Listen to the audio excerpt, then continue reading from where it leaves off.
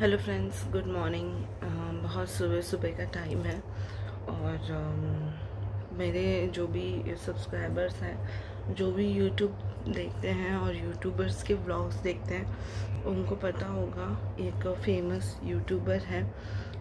YouTuber uh, Priyanka और प्रीति दोनों भी सिस्टर्स हैं। और uh, मैं um, प्रीति की जो है शादी फिक्स हुई थी अमन से। और बहुत सब कुछ अच्छा था। और अचानक से कुछ तो प्रॉब्लम्स आए होंगे।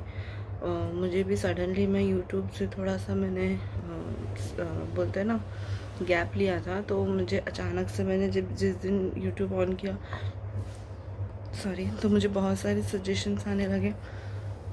क्यों हुआ इनके बीच में झगड़ा? आखिर क्या प्रियंका थी इसके कारण? दिस दैट एंड ऑल तो मुझे बहुत ही शॉकिंग लगा और जब मैंने ये वीडियो देखा तो फिर मुझे ऐसा लगा कि आ, मतलब कोई मज़ाक होगा या कुछ होगा। पर जब मैंने देखा उन वो प्रीति जो है प्रियंका के घर आई थी चंडीगढ़ और कोई इस बारे में कोई बात नहीं अदरवाइज़ पहले वीडियोस में मैं देखती थी जब वो आई थी तो शादी के लिए ये ख़रीदना है मतलब कोई बात नहीं थी बहुत काफ़ी शांति थी तो मुझे शक हुआ कि हाँ ये सच है, शायद। तो एक एक मैंने उनका ब्लॉग देखा लाइफ मस्ट गो ऑन तो वो मैं श्योर हो गई मैं वो टैग देख के। उसके बाद मैंने देखा कमेंट बॉक्स में भी और बहुत सारे लोग यूट्यूबर्स जो हैं वो ज़बरदस्ती उनके नाम का चैनल बना बना के मतलब उनके नाम का टैग लगा लगा के अपना चैनल चलाने की कोशिश कर रहे हैं। तो फ़ोटोज़ लगा रहे हैं। पहली बात तो कोई भी हो चाहे वो कोई यूट्यूबर या कोई भी आ, आप किसी के परमिशन अगर आपकी फैमिली है तो आप उनके पिक्स लगाते हो थंबनेल में it's not a problem because आप ऑब्वियसली आप उनका परमिशन आपके साथ होता ही है। या फिर आपको उनको, उनसे परमिशन लेने की ज़रूरत नहीं पड़ती। बट अगर आप किसी और के थर्ड पर्सन जिसको अपने सामने से कभी आप मिले नहीं हो या फिर जो भी है, आप अगर उसके पिक्स यूज़ कर रहे हो तो that is not at all good I must say आप जस्ट सोच के देखिए, आप भी एक यूट्यूबर है। भगवान ना करे आपके साथ एक छोटा सा भी हादसा हो जाए और कोई भी आपके पिक्स लेके इस तरीके से आपके एक इमोशनल टॉपिक को उछाले तो आपको कैसा लगेगा? इन शॉर्ट मेरा ये बोलना है, और मैंने कल देखा भी, उसने ये टैग भी लगा के रखा है कि प्लीज़ मेरे पिक्स ना यूज़ करो, मुझे गैप चाहिए। क्या आप लोग को थोड़ी सी भी शर्म नहीं आनी चाहिए? किसी की लाइफ में इतनी बड़ी प्रॉब्लम हो गई है, किसी किसी की शादी टूट गई है या किसी ने तोड़ दिया है, जो भी रीज़न है, क्योंकि रीज़न किसी को नहीं पता तो सब अपने मन से बहाने बना के प्लीज़ रीज़न्स ना डालें सबसे पहले। दूसरी बात, आपको उनके पिक्स रख के उनके फैमिली के मदर के ब्रदर के सिस्टर के। और सबसे बड़ी बात, आप कैसे प्रियंका को इस चीज़ के लिए ब्लेम कर सकते हो? मैंने प्रियंका का कल एक ब्लॉग देखा जिसमें वो बेचारी इतनी अपसेट होके वो बोल रही थी ये चीज़ कि वो मेरे भाई बहन है, मैं उनके लिए क्यों कुछ भी गलत करूँगी? और वो बड़ी है अक्सर यही होता है, जो बड़े लोग होते हैं, बड़े भाई बहन होते हैं, हर चीज़ का ब्लेम उन पर ही क्यों डाला जाता है? जो घर में बड़े होते हैं, हर चीज़ को उन पर ही क्यों डाला जाता है? हर चीज़ की रिस्पॉन्सिबिलिटी अगर उन्होंने उठा ली तो क्या ज़िंदगी भर उनकी रिस्पॉन्सिबिलिटी होगी? मैंने देखा, प्रियंका ने खुद अपने मुँह से कहा कि मैंने जो भी है, हमेशा से अपने भाई बहनों को भी अच्छा ही बोला कि तुम लोग भी ऐसा करो, ताकि तुम लोग भी अपना संभाल सको एज़ यू ऑल नो कि उनके फादर नहीं है। तो और अगर उसकी बहन इतनी बड़ी विलन होती उसकी ज़िंदगी में तो क्या वो अपने बहन के यहाँ पे आके रुकती? उसकी बहन उसको इतना सपोर्ट ही कर रही है इमोशनली तभी वो उसके यहाँ पे आके इतने देर रुकी थी। उन्होंने कहा भी कि प्रीति ने कोर्सेज ज्वाइन किए। तो किसी की पर्सनल लाइफ है यार, अगर वो यूट्यूबर है तो क्या, अगर हमें क्या लगता है, कोई यूट्यूबर की लाइफ में कुछ प्रॉब्लम्स नहीं होते? अब जबकि उनके शादी का मैटर इतना फ़ेमस हो चुका था। दोनों भी एक यूट्यूबर थे। उसका, उनके फ्यांसी जो थे, अमन, वो भी एक यूट्यूबर थे। मैंने उनके भी कुछ वीडियोस देखे थे। एक दो वीडियोस मैंने काफ़ी टाइम पहले देखे थे। वो मुझे सजेशंस में आ रहे थे तो मैंने जस्ट चेक करने के लिए सॉरी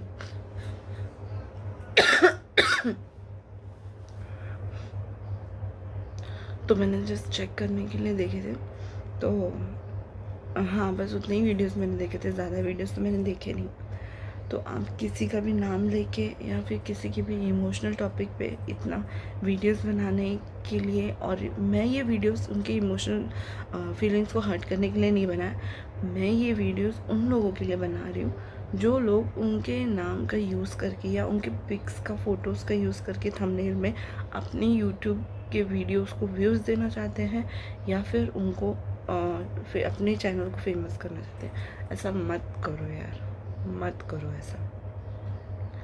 भगवान ना करे अगर किसी के साथ, मेरे साथ, आपके साथ कुछ भी छोटा मोटा हादसा और कोई हमारे, हम थोड़े से भी फ़ेमस हों और कोई हमारे चैनल को लेके इतनी बकवास बातें करे और या हमारे फीलिंग्स को लेके ऐसे शेयर करें, हमारे फ़ोटो शेयर करें।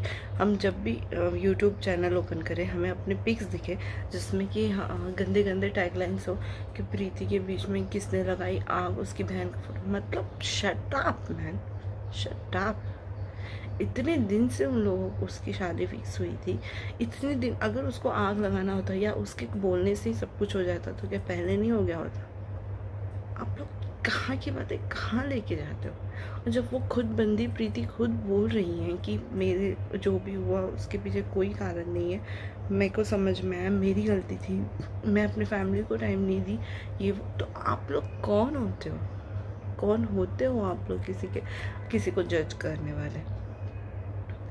आप अपने घर में बैठ के अपने बच्चों को संभाल के यूट्यूब चैनल चला रही हो मैडम और आप किसी के बारे में, किसी यूट्यूबर के बारे में ऐसी बड़ी बड़ी बातें खाली एक टैगलाइन डाल के और बीच में एक दो बातें बोल के जो आपको पता भी नहीं आप कैसे सोच रहे हो कि आपकी वीडियो को व्यूज़ मिल जाए, इसलिए आप ये कर लो just stop doing this stop doing this Priyanka ने खुद कहा कि मेरी अपनी लाइफ नहीं है? मैं बड़ी हूँ तो क्या मेरी मेरी शादी हो गई है? क्या मेरी लाइफ नहीं है? उसका बोलना बिल्कुल सही है, चाहे लड़का हो या लड़की हो, शादी हो जाता है तो जो भी उनके पार्टनर होते हैं, उसके बाद उनके बच्चे होते हैं, वो उनकी लाइफ होती है। उसको बच्चा नहीं हो रहा है, ये उसका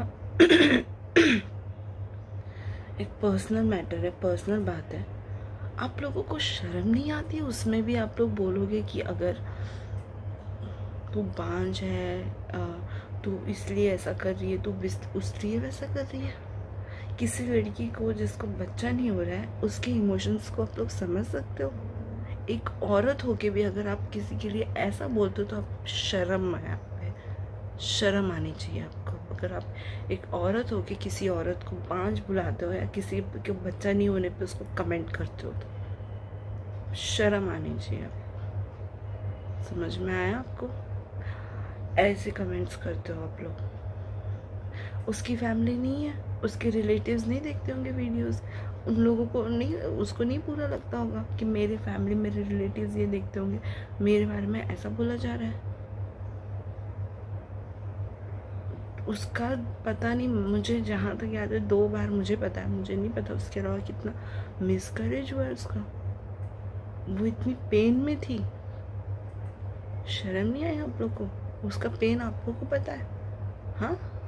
अभी उसका एक परसेंट पेन हो जाए ना आपको तो यूट्यूब सब छोड़ के बैठ जाओगे आप लोग, समझ में आए हम्म? अगर कोई बंदी हिम्मत दिखा रही है, कुछ कर रही है तो आप लोग उसको ऐसे टैक्स दोगे। हाँ? वो अपनी ज़िंदगी नहीं जी सकती। अगर वो अपनी ज़िंदगी जी तो आप लोग बोलोगे कि भाई बहन को छोड़ के अपनी ज़िंदगी जी रही है क्यों उसकी अपनी ज़िंदगी नहीं है? क्या किसी बड़े ने ठेका लिया है कि छोटों का हम ही ये करके बैठेंगे? छोटे छोटे तो रहे नहीं बड़े हो गए। सब अपना देख सकते हैं। सब अपना देख रहे हैं। तो आप लोगों को क्या प्रॉब्लम है? आप लोग अपना काम करिए। आप लोग अपने काम से मतलब रखिए। ना कि किसी के लिए ऐसे कमेंट्स करें। बहुत सारे यू, यू, मतलब सब्सक्राइबर्स और व्यूवर्स हैं। जो मेरे बात से बिल्कुल एग्री करेंगे और जो बहुत अच्छे कमेंट्स करते हैं, बहुत स्ट्रांगली उसको मोटिवेट करते हैं। हैड सॉफ्ट टू देम इसको बोलते हैं एक समझदारी, एक मिच्योरिटी एक औरत एक औरत से ऐसे चीज़ें बोल दे कि तू एक पांज है और तू ऐसी है, तू वैसी है, तू आग लगाई है किसी की ज़िंदगी में, तू ये कर। पहली बात तो चाहे भाई हो या बहन हो, जो भी उनके छोटे हैं, वो उनकी ज़िंदगी में कभी आग नहीं लगा सकते। पहली बात तो वो उनको अच्छे ही बोलेंगे और उसके बाद भी कोई जो भी छोटे हैं, वो कोई अपने बड़ों का सुन के तो करेंगे नहीं, वो अपने मन से ही करेंगे। तो अगर उनके लाइफ में कुछ भी होता है तो उसके लिए ज़रूरी नहीं कि किसी बड़े को ही ब्लेम किया जाए। प्लीज़ ये जो भी उनके लाइफ में मैटर हुआ है जो भी उनका ब्रेकअप हुआ, जो भी हुआ उस पर फालतू कमेंट्स करके, फालतू बातें करके अपना चैनल चलाने का मत सोचो। कितने दिन चला लोगे भाई? कितने व्यूज़ ले लोगे एक वीडियो पे, दो वीडियो पे। उसके बाद अगर आपके कंटेंट्स ही नहीं होंगे अच्छे तो कहाँ से ले लोगे भाई व्यूज़ कुछ तो सोचो। आई एम रियली सॉरी मैंने किसी को अपने बातों से हर्ट किया होगा तो लेकिन कोई भी यूट्यूबर है, अगर वो एक लेडी से स्पेशली आप भी लेडी हो तो उसके बारे में ऐसे फालतू कमेंट करके उसकी शादी टूट गई, वो बांझ है और ऐसे फालतू कमेंट कर करके और अपने टैगलाइंस लगा के आप बहुत बड़ी यूट्यूबर नहीं बन जाएँगी। अगर आपके अंदर इतना दम है ना तो आप खुद अपने कंटेंट से और अपने खुद के दम पे अपने व्यूज़ बढ़ाएँ। मैं भी एक छोटी मोटी यूट्यूबर हूँ, मुझे कोई शौक नहीं है कि मैं इतने अपने व्यूज़ और ये मेरी अपनी पर्सनल मेरी छोटी बच्ची है, मेरी पर्सनल लाइफ है, मैं उसको भी टाइम देती हूँ और मैं उस हिसाब से चलाती हूँ। मैं कोई मरी नहीं जा रही हूँ अपनी यूट्यूब चैनल चलाने के लिए। तो आप लोग ऐसे फालतू किसी के भी नाम के स्पेशली किसी लड़की के नाम पर किसी की फैमिली का फ़ोटो लगा के, आप लोग ऐसे टैगलाइन बना के अपने यूट्यूब चैनल नहीं चला सकती हो। तो प्लीज़ वैसा मत करो। आप, हो सकता है आपकी भी गलती नहीं हो, आप ये देख देख के एक ने किया, दूसरे ने क्या करे बट प्लीज़ बंद कर दो उसको।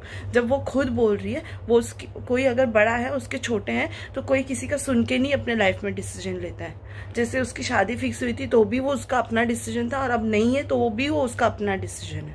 तो उसमें उसकी बड़ी, बड़ों का कोई गलती नहीं है, चाहे उसकी बड़ी भाई हो, बहन हो।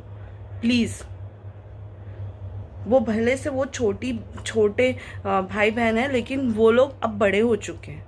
तो वो लोग अपनी लाइफ में जो भी डिसीज़न ले रहे हैं, वो उसके बड़े भाई बहन से नहीं ले रहे हैं। तो आप लोग ऐसी बातें मत करो प्लीज़ और आप लोग किसी के लिए इतने जजमेंटल मत बनो कि आप लोग इतनी स्ट्रांग ट्रैगलाइन और इतने फ़ोटोज़ डाल के उसमें ये कर दो।